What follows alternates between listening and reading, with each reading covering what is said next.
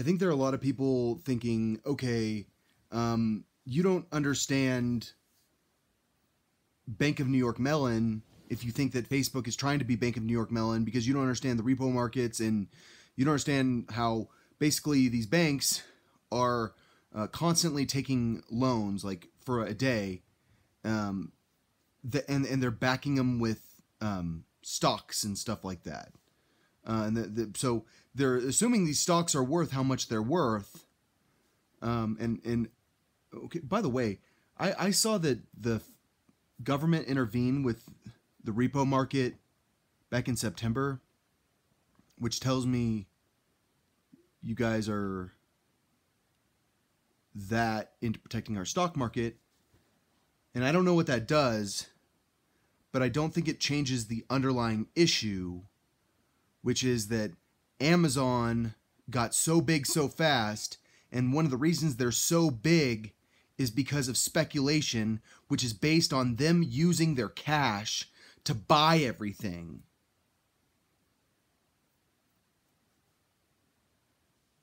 All right. Because because they did. They bought so much stuff. And and they expanded into so many different types of businesses.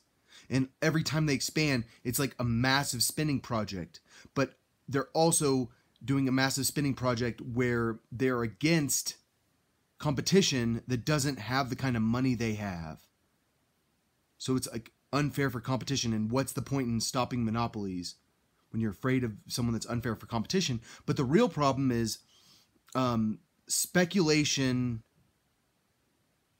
and how it affects short term lending.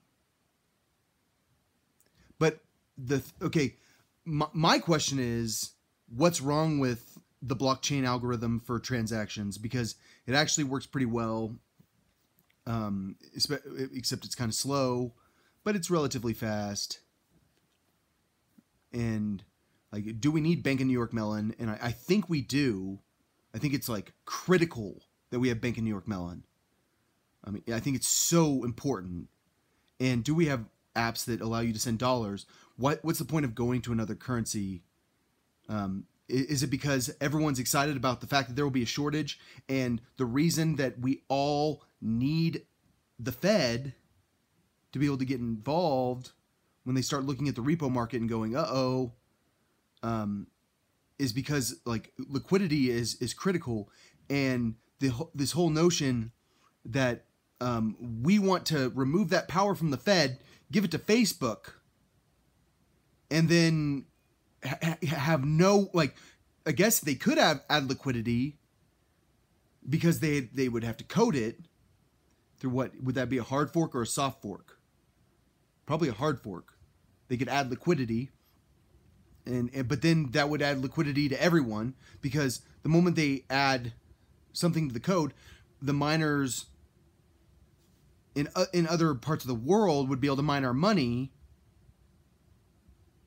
So I'm just saying, like, as far as ability for Facebook to respond to issues like the Federal Reserve responds, um, that's that's scary because are they the repo market? They could become the repo market. Obviously, they're not, but they would. It's like they are. They would be a clearinghouse, though. I don't know. I feel like I, I don't. I honestly don't know the re, know about the repo market enough, but um, what I do know about is um, very very massive companies causing problems in the banking industry for everyone um, because like when you take down Amazon, which we do need to take down Amazon, it need, like we all need to agree, Amazon has to go because they can't they can't behave like that. And it's the same thing with Facebook. Facebook can't do that, and, and it's the same thing with like I won't pick a single person to be in my administration that's Jewish it's not a diss on Jewish people. It doesn't mean that I won't do business with Jewish people. It doesn't mean that I, I won't get get along with them. It's just saying um, right now when I look at look around, I'm like, how'd you guys do that?